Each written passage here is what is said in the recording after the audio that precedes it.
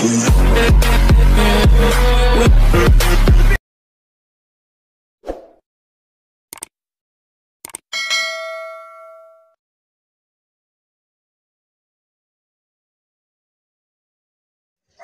morning. Ngayong araw ay March 16. Dito kami sa Camarines Sur. Ah, pangalan nito lugar na to. Ocampo. Pupunta kami ng Sorsogon ngayon para sa meeting na kay Bishop Jerry para sa meeting para sa vision casting na Sin Evangelism. Kita-kita tayo mamaya doon sa Sorsogon. Stay safe sa lahat. Ingat din kami, syempre. Okay? God bless you all. Kita-kita tayo mamaya. Goodbye.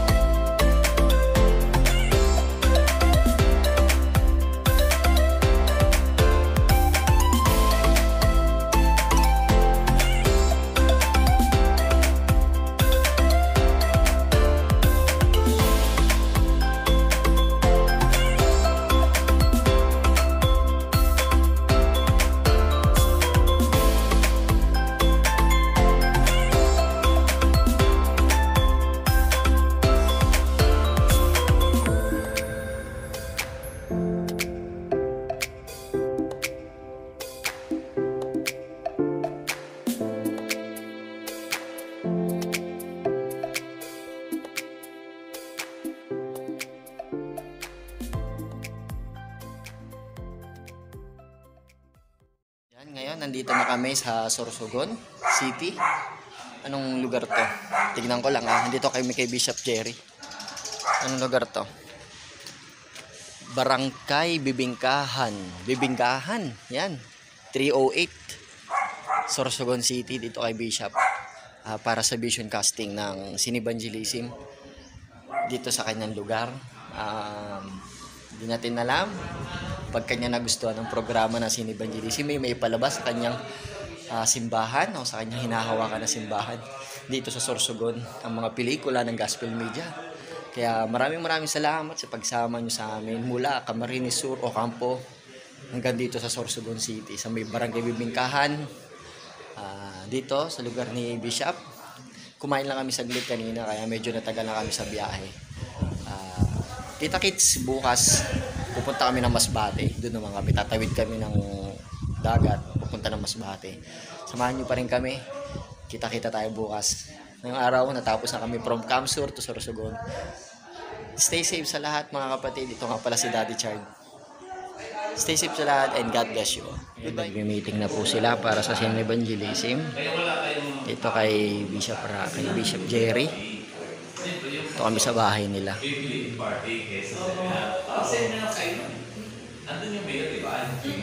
Ayan.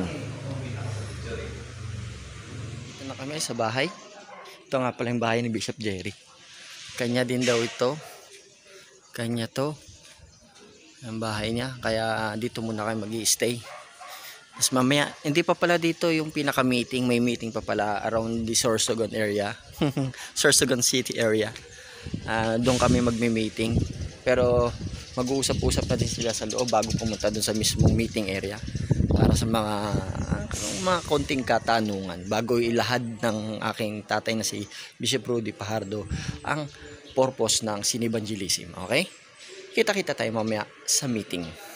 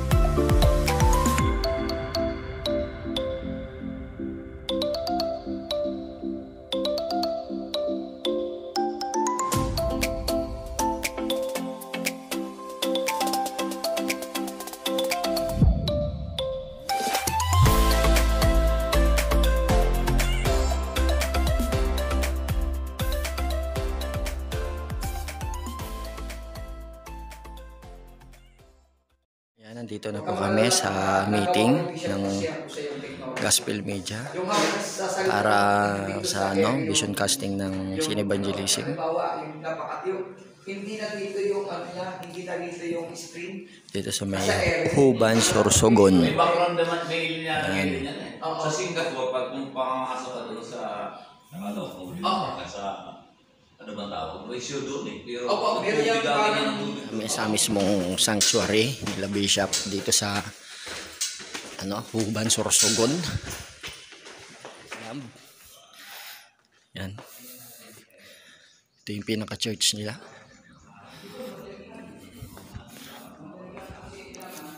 Yan na.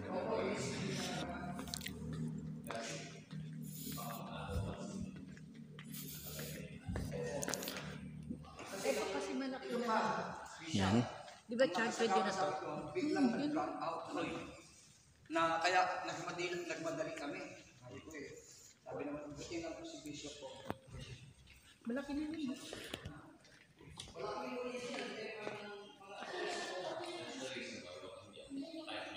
Yan, ito yung pinaka ano nila, worship center. Napakaganda. Dito ang bahay sambahan nila. Ito yung mezzanine. Siguro kasya dito is mga 600 to 700 na katao. Yon, nandito na kami sa Global Mission. Tama ba? Ministry. Ayan, Lamb of God Global Ministry. Dito sa may Huban, Sorsogon dito na yung meeting nila ng mga kapastoran para mailapag din yung mailatag din yung ano ng sin evangelism dito sa lugar ng Sorsogon. Laki ng lugar nila. Ito yung pinaka mismong church nila. Yan. From Camarines Sur hanggang dito. Kaya maraming maraming salamat sa pagsama. Siguro hanggang dito na lang. Kita-kita na lang tayo bukas sa Masbate. Okay? Stay safe sa lahat. God bless you. This is Daddy Char.